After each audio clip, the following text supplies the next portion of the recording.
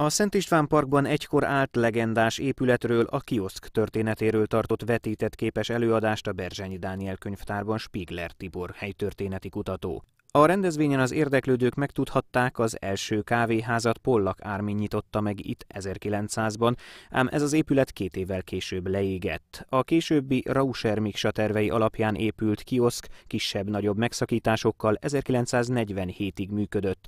A kávéház mellett kulturális rendezvényeknek is otthont adott, de háború után elődjéhez hasonló sorsra jutott. A mai kioszk, amely 1962-ben étteremként és sörözőként nyílt meg, már nyomokban sem őrzi az előző épületek romantikus hangulatát.